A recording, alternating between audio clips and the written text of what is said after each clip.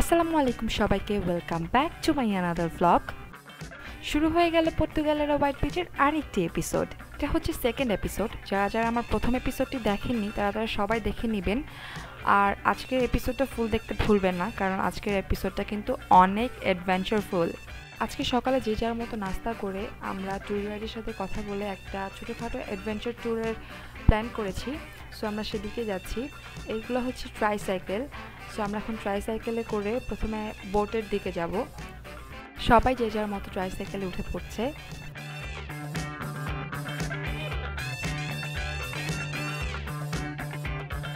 আমরা ট্রাইসাইকেলে উঠে পড়েছি। ওয়েদারটা খুবই ভালো ছিল। সকাল সকাল খুবই একটা অ্যাডভেঞ্চারফুল জার্নি শুরু হয়ে গেছে এবং খুবই এক্সাইটেড সেই সাথে।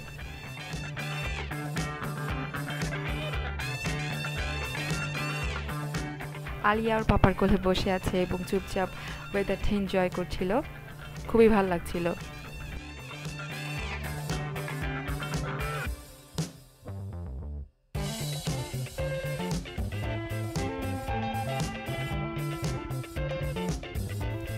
আমরা চলে এসেছি ট্রাইসাইকেল থেকে নেমেই বোটের দিকে যাচ্ছি। আর ভিউগুলো দেখছিলাম ও মাই গড অসাধারণ সুন্দর। খুবই ভালো লাগছিল আর ওয়েদারটাও এত ভালো ছিল যে চারিদিকটা একদম মুগ্ধ করে দিচ্ছিল।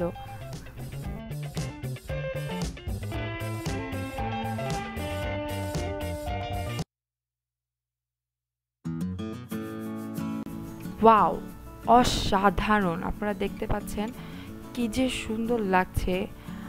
যারা যারা ফিলিপিন্সে এসে এইসব জায়গাগুলো ঘোরা মিস করবেন, তাদের ষোলো আনায় বৃথা। সো ফিলিপিন্সে এসে অবশ্যই এই জায়গাগুলো ঘুরবেন। খুবই ভালো লাগবে। আর আমার তো অসম্ভব ভালো লাগছিল। আপনাদের সাথে আমার আর আমার মেয়ে আলিয়ার একটা পিক শেয়ার করছি।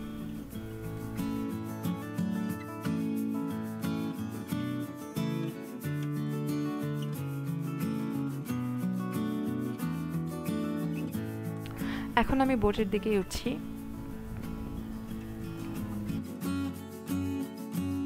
এরা হচ্ছে আমাদের ফ্যামিলি ফ্রেন্ডস আনোয়ার ভাইয়ের ফুল ফ্যামিলি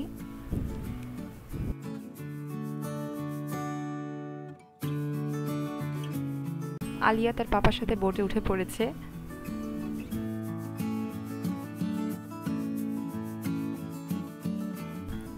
আপনারা দেখতেই পাচ্ছেন আলিয়া কত এনজয় করছে, আর এটা হচ্ছে আমাদের ট্যুর গাইড আমাদের বোর্ড ছেড়ে দিয়েছে।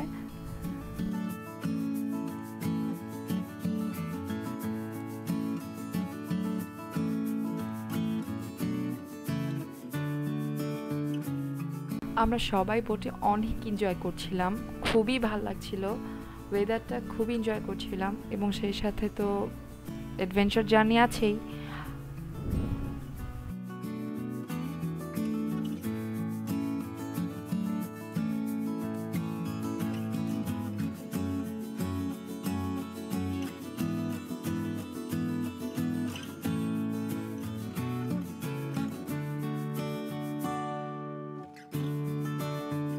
নদীর মাঝখানে ঢেউয়ের কিন্তু কোনো কমতি ছিল না। তার ছোট্ট একটি ক্লিপ আপনাদের দেখিয়ে দেই।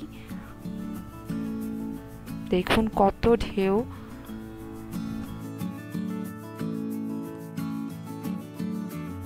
এখন আমরা ছোট্ট একটি বিচে এসেছি। এখানে জাস্ট একটুখানি ঘোরাফেরা করে আমরা এখান থেকে মুভ করব।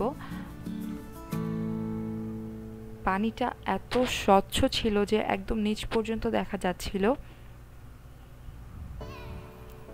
আপনাদের একটু দেখিয়ে দেই।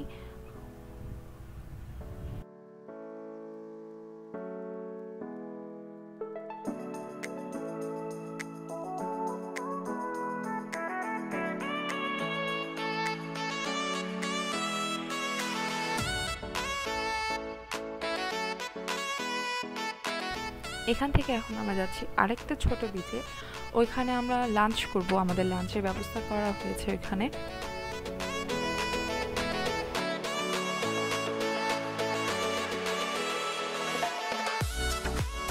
সেখানে যেতে যেতে সমুদ্রের মাঝখানের ভিউটা আপনাদের আরেকটু দেখিয়ে দিই।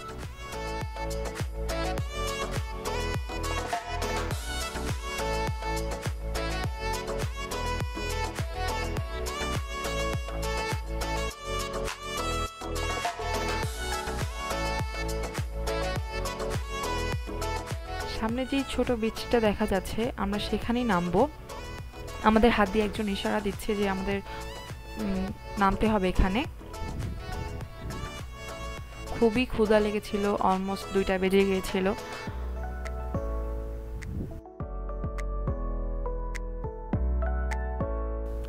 এই ছোট হোটেলটায় আমরা এখানে ঢুকছি এখন। এখানে আমরা লাঞ্চ করব। আমাদের লাঞ্চ প্রিপেয়ার করা হচ্ছে। Fish barbecue chicken barbecue fish curry আর এখানে কিছু পার্লের অর্নামেন্টস রয়েছে।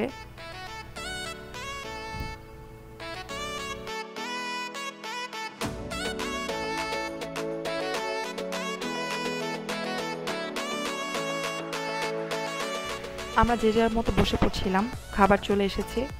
এখানে রয়েছে তেলাপিয়া কারি, চিকেন বার্বিকিউ আর রাইস, আর এটা হচ্ছে বাংস বার্বিকিউ। এটা আমাদের দেশে ইলিশ মাছের মতো অনেকটা, বাট ইলিশ মাছ না।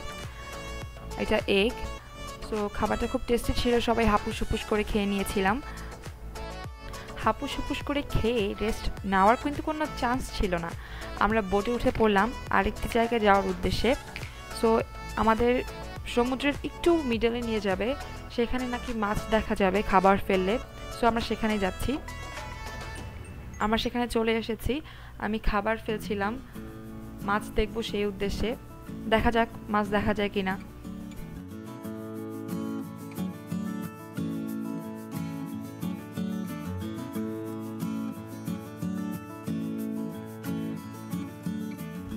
ফেলছি কতক্ষণ ধরে, কিন্তু কোনো মাছ দেখতে পাচ্ছি না। অ্যাটলিস্ট মাছ দেখা গেল, দেখুন, কালো কালো যে জিনিসগুলো দেখা যাচ্ছে, ছোট ছোট, সেগুলো মাছ। আর এই বড় যে একটা কালো খণ্ডর মতো দেখা যাচ্ছে, সেটা হচ্ছে একটা বড় কোরাল। এই বড় কোরালটার উপর এখন আমাদের বোটটা রয়েছে। আমি খাবার ফেলেই যাচ্ছি অনবরত। আর এই দেখুন, মাছ দেখা যাচ্ছে। খুবই সুন্দর লাগছিল, হাত দিয়ে ধরতে ইচ্ছে করছিল। মাছ দেখা শেষ করে আমরা এখন ব্যাক করছি আমাদের রিসোর্টের দিকে। আর একটু পরে আমরা বোট থেকে নেমে যাব। বোট থেকে একদমই নামতে ইচ্ছে করছিল না। খুবই ভালো লাগছিল বোটে আর এত বাতাস ছিল যে অসাধারণ লাগছিল।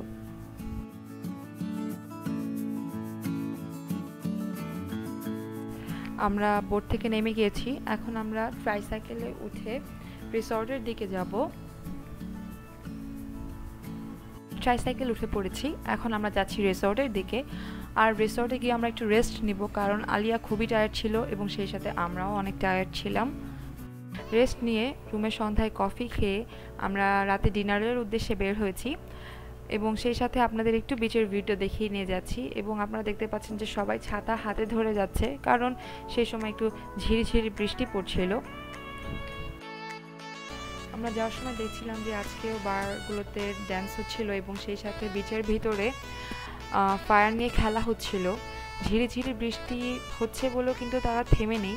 তারা মানুষকে এন্টারটেন দেওয়ার জন্য কিন্তু তাদের কাজটা করেই যাচ্ছিল।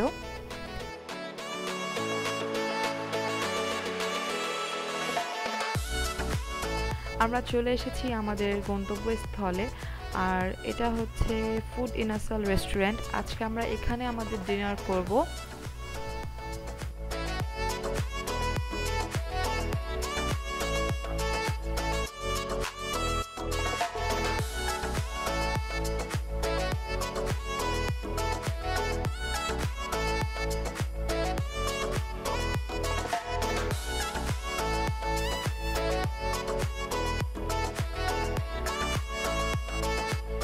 খাবার অলরেডি অর্ডার করা হয়ে গিয়েছে। আর সেই সাথে আমি একটু কিচেন এরিয়াটা আপনাদের দেখিয়ে দিচ্ছি। তারা খাবার প্রিপারেশনে লেগে গিয়েছে।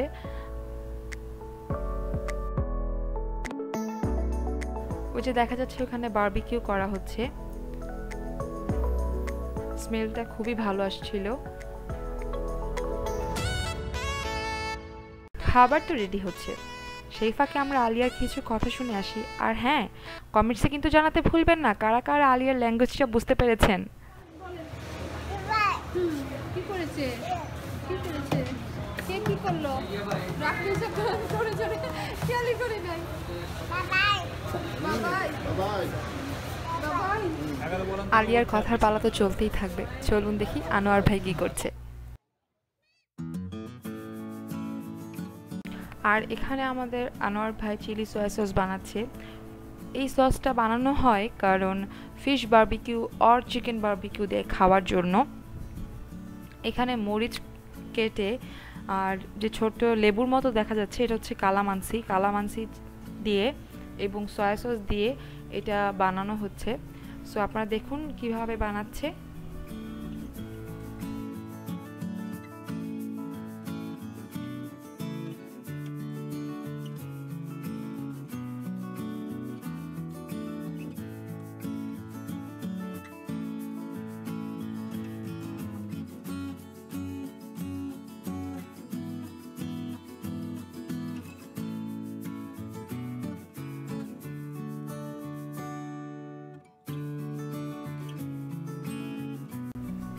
দেখুন রেডি হয়ে গিয়েছে আনোয়ার ভাইয়ের চিলি সয়া সস রেসিপিটা বাসায় ট্রাই করতে কিন্তু ভুলবেন না।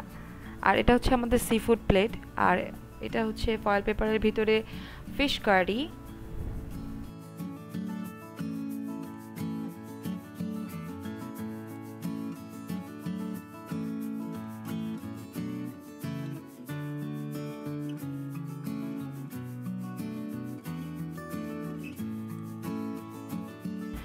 এটা হচ্ছে বেগুন, বেগুনের উপর টমেটো এবং পেঁয়াজ কুচি দেওয়া আছে। বেগুনটা কীভাবে প্রসেস করা আছে আমার সেটা জানা নেই এবং আমাদের খাবারও অলমোস্ট চলে এসেছে। এটা হচ্ছে চিকেন বার্বিকিউ এবং রাইস খাবার যেহেতু সব চলে এসেছে সো আর দেরি কেন? সবাই ঝাঁপিয়ে পড়েছি খাবারের উপরে। খাওয়া দাওয়া শেষ করে আমরা আমাদের যে যার রুমে চলে যাব। এবং সেই সাথে আমার একটা ফ্যামিলি ফটো আপনাদের সাথে শেয়ার করছি। আজকের মতো এখানে শেষ করছি। হোপফুলি আমার আজকের ব্লগটি আপনাদের সবার ভালো লেগেছে। যদি ভালো লেগে থাকে তাহলে প্লিজ সাবস্ক্রাইব করবেন। আর একটা থামস আপ দিয়ে দেন যদি খুব ভালো লেগে থাকে। Keep watching my channel wait for my next video until then bye